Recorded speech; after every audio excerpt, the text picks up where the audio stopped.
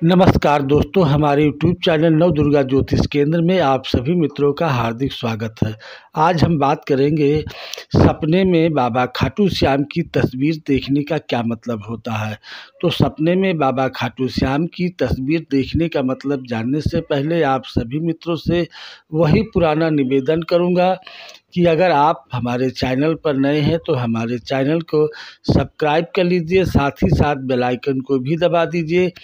ताकि आने वाली हमारी हर वीडियो आप तक सबसे पहले पहुँचती रहे और आप सपने के बारे में सबसे पहले जानकारी प्राप्त कर सकें।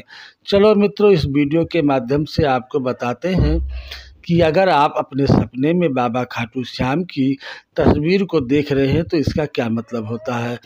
तो सपने में बाबा खाटू श्याम की तस्वीर देखना एक बहुत ही शुभ सपना है। यह सपना इस बात की ओर इशारा करता है कि बहुत जल्द ही बाबा खाटू श्याम की आप पर कृपा होने वाली है। आपकी सारी परेशानियाँ दूर होने वाली हैं। आपने जो मन्नतें मांगी हैं वह पूरी होने वाली हैं। तो आप अपने सेवा भाव को बढ़ा दीजिए, पूजा पाठ को बढ़ा दीजिए, ताकि खाटू श्याम बाबा आप पर बहुत जल्द ही प्रसन्न हो जाएँ। तो शुभ सपना है। जय हो खाटू श्याम बाबा।